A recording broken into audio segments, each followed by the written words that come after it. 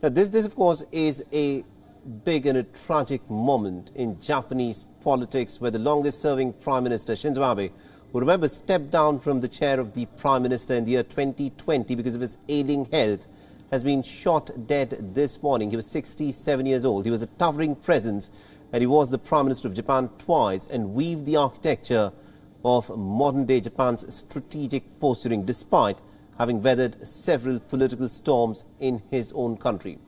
Now, Shinzo Abe has left behind him a legacy that is going to be remembered for a long time to come in Japan. Take a look. Born in Tokyo to a prominent political family, Shinzo Abe smashed records as Japan's longest serving prime minister. He championed ambitious economic reforms and forged key diplomatic relationships while weathering scandals. Served twice as the Prime Minister, Abe was a symbol of change and youth. He was also the youngest Prime Minister of Japan at the age of 52.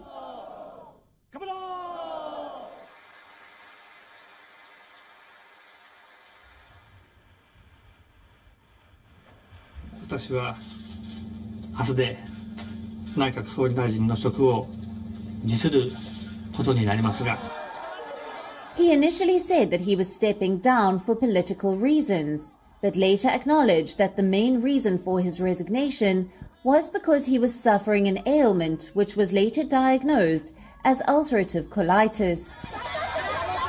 And a few years after he overcame the ailment with the help of a new medication, he ran again for the post. And Japan's revolving prime ministerial door brought him back to the office in the year 2012.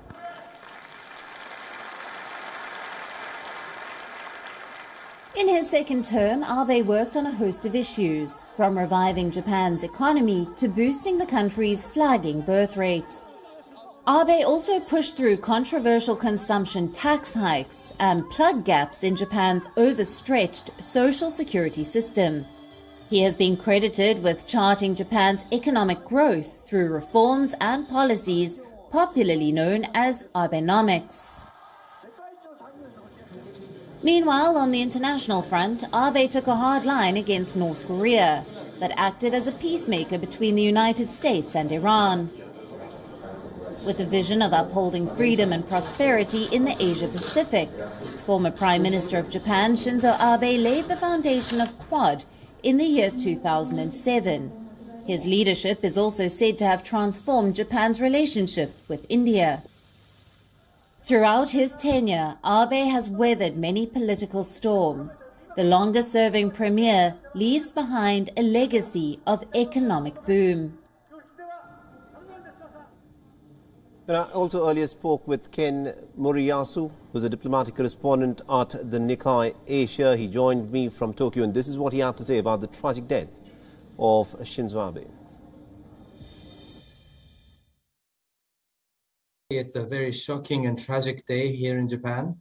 Uh, the elections for the upper house of Japan is scheduled on Sunday. Uh, so tomorrow is the last day of campaigning. So this was just two days before that, uh, before election day, very crucial day. Uh, Shinzo Abe is still one of the most influential politicians in Japan, and he's also one of the most popular speakers on the campaign trail. So a lot of uh, LDP, the Liberal Democratic Party, ruling party's candidates uh, have requested for Abe to come to speak on their behalf uh, just ahead of the elections. Uh, as you know, uh, Shinzo Abe is the longest serving Japanese prime minister in history, and he was also a very hawkish uh, leader. And uh, he has really um, pushed forward the national security debate. so naturally, um, this kind of terrorist attack, people might um, link um, to that kind of um, conservative right leaning policies. But apparently, according to reports, the suspect has told police that he did have frustration towards Mr. Abe, but it's not that he was angry with his political beliefs and that the political beliefs were not the reason for the attack. So that's all we know.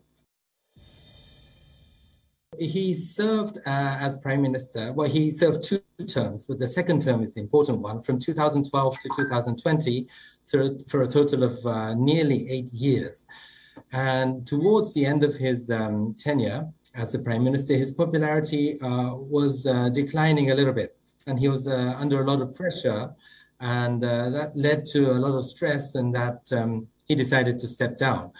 Uh, after stepping down, he was in a, a very unique position um, because uh, he didn't have to lead the party, but he did lead the largest faction in the LDP. And the LDP is a collaboration of many factions.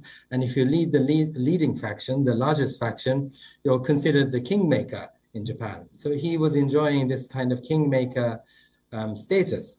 And also, after he um, stepped down from prime minister, uh, he had been uh, more vocal in terms of national security. Uh, when he was prime minister, he had to worry about uh, the economy, he had to worry about social security and uh, national security. But after he stepped down, he really could focus on his favorite subject, which is national security. And he, in Japan, he was leading the call uh, to increase the defense budget, doubling the defense budget to 2% of GDP.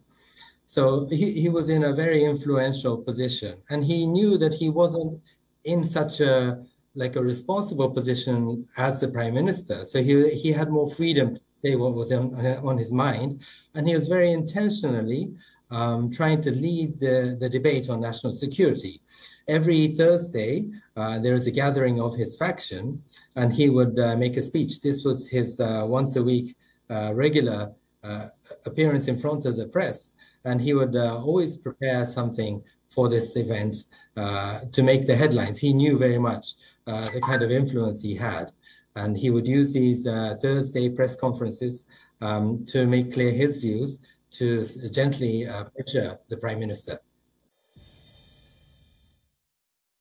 Gun laws are very strict in Japan. You, you just can't buy guns uh, in, in stores like in America not just stores, uh, uh, not just guns, but uh, swords and knives. If you're caught carrying a knife around town, you'll be arrested.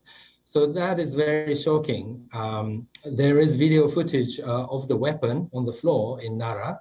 Uh, it looks like um, a, handmade kind of gun, some kind of combination of two two guns combined by tape, gum tape. Um, we don't know how um, this suspect um, got his hands on the gun. But uh, it, it is very shocking because uh, gun violence, you just don't hear about it in the streets every day. Uh, regarding the security around Prime Minister Abe, uh, all former prime ministers um, have um, special police guarding them at all times. Um, so uh, people like Mr. Um, Abe and Mr. Uh, Aso, Mr. Fukuda, they all have um, security around them. Uh, as for the election campaign, um, th there is an 18-day election campaign uh, in which politicians are allowed to uh, make speeches. Um, so uh, this was a period where all the politicians are exposed to the public. And uh, there is extra guarded um, security. Uh, like if you see in the video footage today, there are many um, security police around him. But the, the the guy got to him. Yeah. WION is now available in your country. Download the app now and get all the news on the move.